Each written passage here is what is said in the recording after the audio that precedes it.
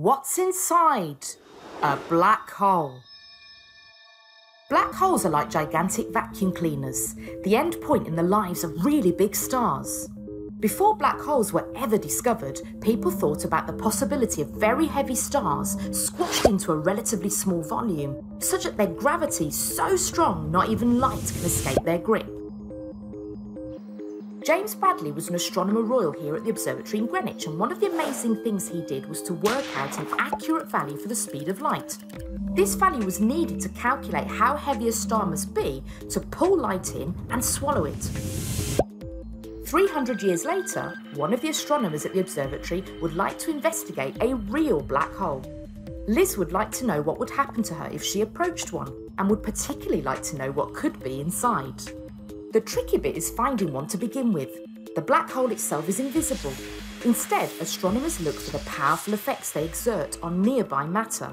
Sometimes this is seen as material swirling around a greedy black hole, but those without a cosmic buffet close by are harder to spot. However, if we look towards the centre of our Milky Way, we see lots of stars circling an invisible object. These stars have similar orbits to the planets in our solar system, which helps us work out that there is something in the middle, a supermassive black hole. The one in our galaxy is nearly a quarter of a million trillion kilometres away, so we are in no danger of being pulled in. So what would happen to Liz if she approached a black hole?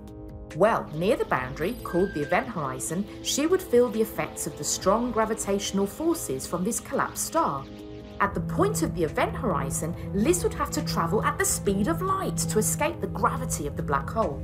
And this is impossible for her or any object to achieve. Also, the strong gravitational field would slow down time. If we could see Liz's watch from our perspective here on Earth, it would appear to us to tick a lot slower than our watches, although time for her would pass by normally.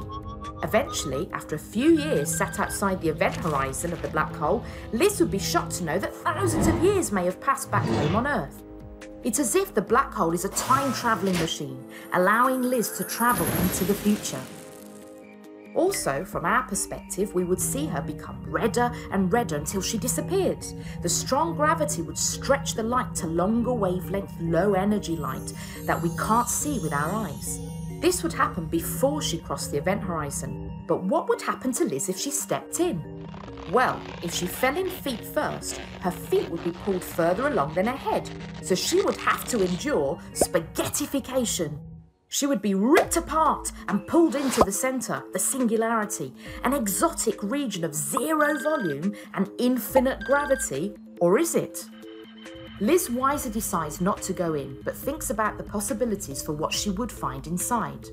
Some physicists believe if Liz jumped in, there would be no sign of her presence inside the black hole apart from a slight increase in its mass.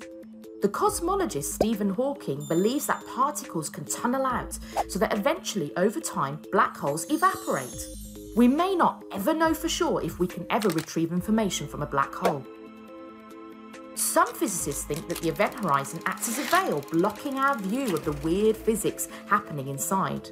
Some theorise that the fabric of space is punctured at the singularity. American physicist Lee Smolin suggests that time ends inside a black hole and begins with the start of a new universe, forever hidden from our view. A popular theory for the nature of a black hole brings in the idea of a ball of vibrating strings. These strings would keep information about the contents. Liz's atoms would be shredded into their constituent strings and would merge with the existing orchestra inside. It's Liz, but not as we know her.